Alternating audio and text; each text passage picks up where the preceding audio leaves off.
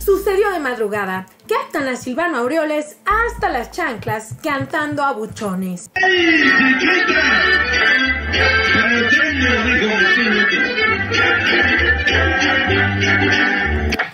Bien dice el dicho que para tener una lengua larga se debe de tener una cola corta.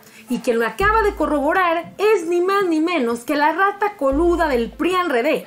Sí, el gobernador de Michoacán, Silvano Aureoles, quien después de perder desastrosamente en las pasadas elecciones, ahora quiere que no se respete la elección del pueblo y busca anular la elección al acusar a Morena de aliarse con malandros. Lo que no se esperaba el perredista es que las redes inmediatamente le sacarían sus trapitos al sol y le recordarán que él incluso canta los corridos de buchones a sus patrones malandros que lo llevaron al poder. Hoy te relataré este mega escándalo nacional que le dio tremendo elotazo al Silvano Abrioles y a todo el PRIAN. Bienvenidos al Nopal Times, yo soy Jaque Rojas y hoy les voy a platicar cómo Silvano Abrioles quedó como payaso. ¿Listos? Comenzamos.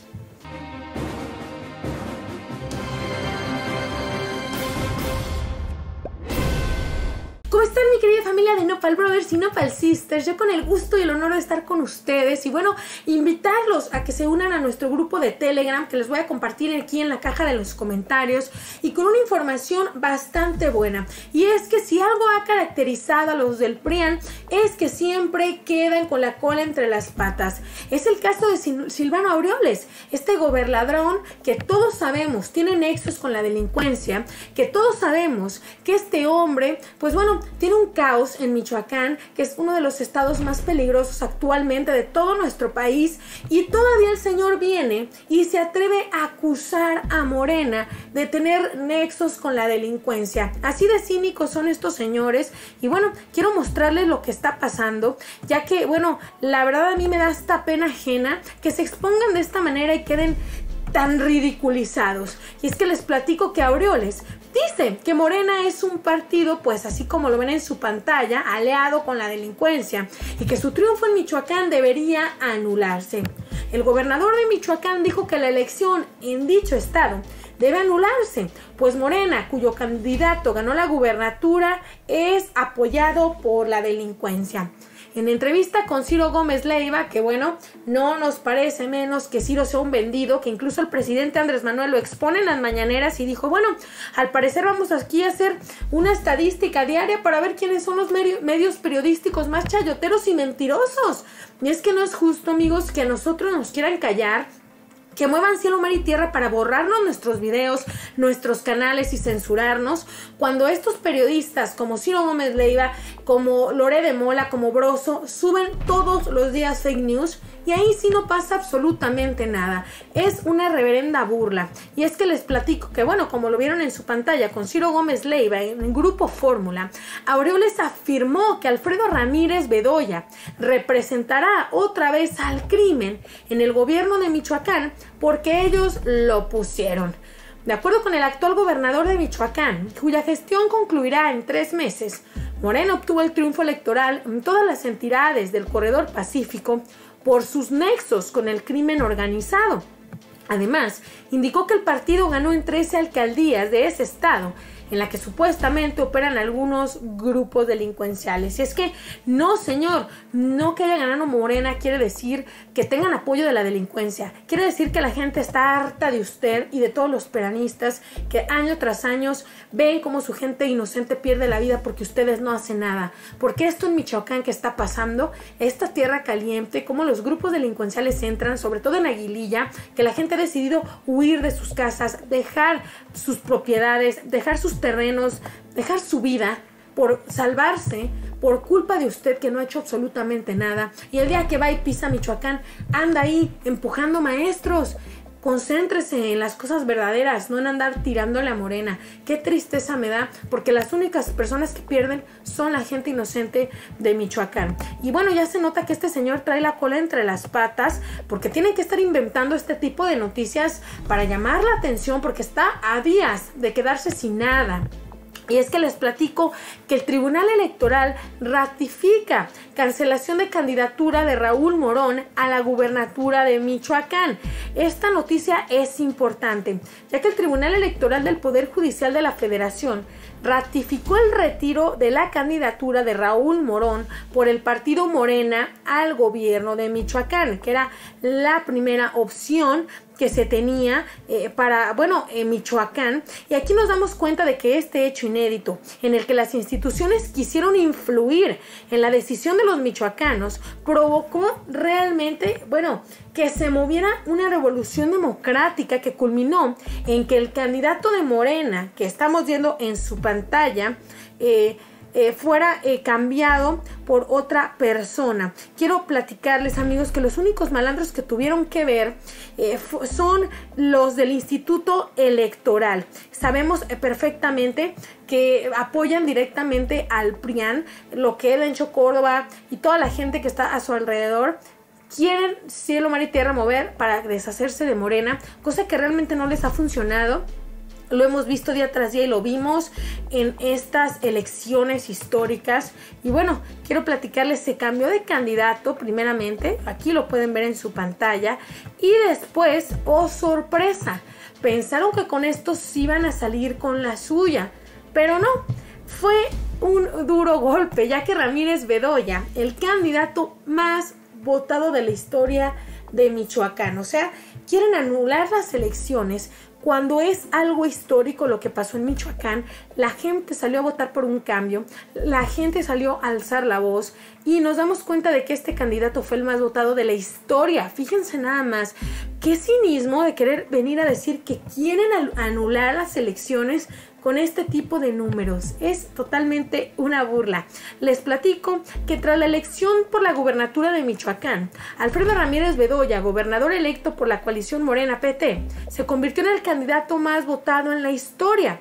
De acuerdo con datos obtenidos por el Instituto Electoral de Michoacán, sobre las últimas cuatro elecciones, los 730 mil votos obtenidos por Bedoya el pasado 6 de junio superan los 658 mil logrados por el ex gobernador priista Fausto Vallejo en 2011, quien ahora ocupa el segundo puesto. Fíjense nada más, ¿de verdad creen que tenga algo que ver la delincuencia? Por favor, si Morena ganó es porque el pueblo está exigiendo un cambio y más en Michoacán, en Guanajuato, en Jalisco, en Sinaloa, en estos estados que son gobernados por la delincuencia, Tamaulipas.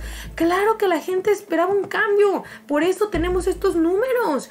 Y es que eh, les comentaba al principio de esta nota, pues que este señor, Silvano Aureoles, está diciendo que Morena tiene nexos, que Bedoya fue puesto literalmente por la delincuencia, o sea, no por esta cantidad de votos históricos, sino supuestamente por la delincuencia, pero lo que me encanta a mí de las benditas redes sociales es lo siguiente, que la gente ya salió a alzar la voz y recordarle a este señor de dónde viene.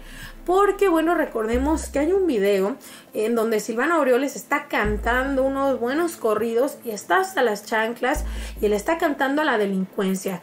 Entonces la gente dice, mire señor, cállese porque usted tiene mucha, pero mucha cola que le pisen. Vamos a recordar este video amigos y quiero que me digan su opinión aquí en la caja de los comentarios. Vamos a verlo.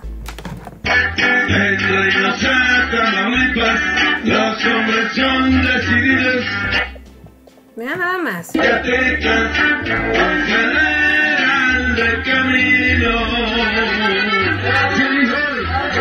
Veanlo nada más, aquí desde aquí se puede oler a este señor que huele a puro bacacho, igual que el calderón. Están ahí, bueno, muy felices, juntitos. Eh, cabe recalcar que esta era una reunioncita que hicieron eh, pues bueno, la gente de la Alianza Federalista que está en contra de nuestro presidente, gastándose nuestro dinerito del erario público en contratar aquí estos grupos regionales y andar cantando pues canciones a estos grupos delictivos que tanto daño le han hecho a Michoacán.